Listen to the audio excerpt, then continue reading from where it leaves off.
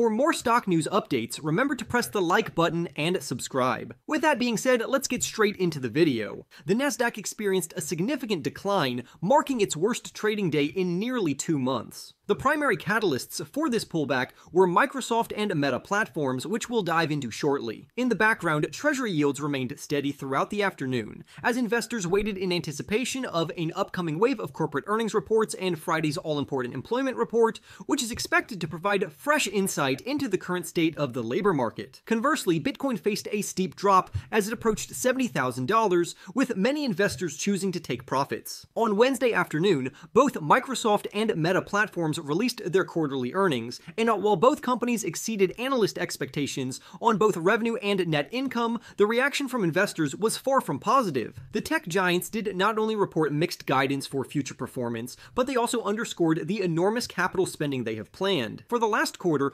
Microsoft's capital expenditures reached $20 billion, of which 14.9 billion was dispersed in cash, a 50% increase from the same period last year and more than the company's total annual expenditure expenditure prior to 2020. Meta Platforms also raised its full year capital expenditure projection to a range between $38 billion and $40 billion, up from the previous range of 37 billion to $40 billion. These elevated spending figures underline the extensive resources these companies are dedicating to remain competitive in the technology landscape. Meta Platforms Chief Financial Officer Susan Li addressed this matter on the company's earnings call, stating, We anticipate a substantial growth in capital expenditure in 2025. With this expectation and our backloaded 2024 capital expenses, we foresee a notable rise in infrastructure related costs next year, largely due to increased depreciation and operating expenses related to our expanded infrastructure investments. The race to lead in artificial intelligence is proving to be an exceptionally costly venture. Not only does the development of expansive language models demand considerable power and resources, but the construction of physical data centers necessary for these models adds a separate set of financial demands. Alphabet and Amazon have also allocated significant portions of their annual revenue to capital expenditure, though their investments are not as extensive as those of Microsoft. Despite the massive hype surrounding artificial intelligence, there is concern that these companies have yet to see tangible returns on their heavy investments. However, technology executives argue that substantial spending is necessary to secure future growth and opportunity. Microsoft Chief Financial Officer Amy Hood reinforced this perspective on the earnings call, stating, It's essential to invest now to be ready for rising demand. Morningstar's equity analysts echoed this sentiment, noting that although Meta Platforms' investments in generative artificial intelligence may raise concerns, they maintain that the true value will ultimately be realized within Meta's core advertising services. Over Overall, analysts remain optimistic about the outlook for large technology firms, despite some voices of caution worried that they may be reaching a limit in their growth. Meanwhile, Comcast saw a surge of more than 3% after news emerged that it might be exploring a possible separation of its cable business. This quarter, the network provider experienced a temporary boost from the Olympics, but still saw a decline of 365,000 cable TV subscribers. In other market highlights, Peloton Interactive experienced a significant rise of nearly 28% after exceeding earnings expectations and introducing a new chief executive officer. Carvana also saw strong performance with a gain of over 19% following an earnings report that exceeded expectations, marking an impressive turnaround for the car selling platform. Booking Holdings, the parent company of travel websites, achieved an all time high after reporting exceptional earnings. As a result, its stock price increased by almost 5%.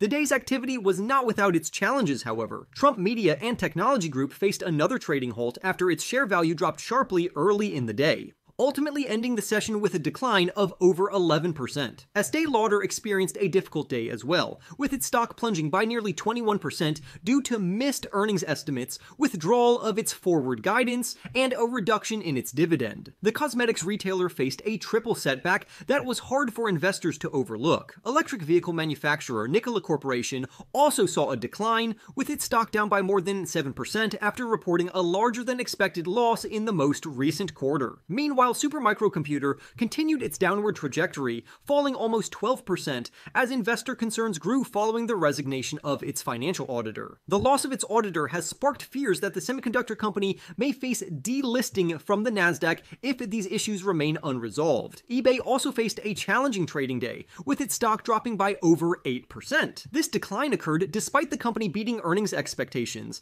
as its forward guidance for the upcoming holiday season left investors disappointed. This development highlights the challenges eBay faces in navigating the competitive e-commerce landscape during the peak retail season. Robinhood, the preferred trading platform among Generation Z investors, experienced a notable setback, with shares falling by 17% after missing both earnings and revenue expectations. Despite a 36% increase in sales compared to the previous year, the company's revenue of $637 million fell short of the forecasted $658.2 million. Robinhood Chief Financial Officer Jason Warnick explained during the earnings call that the underperformance was partially due to analysts' misunderstanding of an accounting anomaly that had led to overly optimistic projections. Uber also faced a decline, with its stock down by more than 9% after its gross bookings, a metric that reflects revenue prior to subtracting other expenses, including driver compensation, fell short of analyst expectations. Nonetheless, there were some positives for the ride hailing company, as it reported a 20% increase in year over year revenue,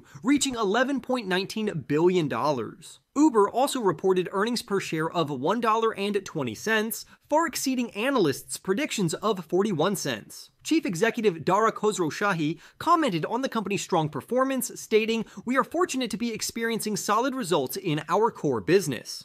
In a contrasting story, Roblox saw its stock rise by nearly 20% following better than expected quarterly earnings. This favorable report helped the company recover from recent negative press surrounding allegations made by a notable short seller. The United States Jobs Report, set for release on Friday, is a highly anticipated event following the market's turbulent response in August. This report could once again stir the market if the employment data falls below expectations. Economists currently predict a gain of only 120,000 jobs jobs for October, which is less than half of September's unexpectedly robust 254,000 job increase. The unemployment rate is forecast to hold steady at a low 4.1%, though the effects of recent hurricanes and labor strikes could complicate the data. With a wave of earnings reports behind us, the market is expected to enter a calmer period on Friday. Dominion Energy is another company that investors are closely watching, which serves areas in Virginia and North Carolina, stands at the center of the artificial intelligence driven data center boom. Dominion recently secured a new nuclear agreement with Amazon. Analysts anticipate earnings per share of 92 cents and revenue of $4.18 billion. Wayfair, on the other hand, is grappling with significant challenges in 2024. The online home goods retailer is caught in the crossfire of reduced consumer spending and has implemented cost cutting measures to try to improve its financial performance. Faced with stagnant revenues, mounting debt, and concerned shareholders, Wayfair's management will be under pressure to provide answers and a clear path forward in their upcoming report. The consensus projections for Wayfair are earnings per share of 14 cents and revenue of $2.89 billion. In summary, technology stocks faced a downturn after recent highs due to high spending projections from major players like Microsoft and Meta Platforms. Despite some disappointing outlooks, investors remain optimistic about the long term potential of these tech giants, with analysts holding a positive view of their continued expansion in artificial intelligence and infrastructure. For more stock news updates, remember to press the like button and subscribe. With that being said, I will see you in the next video.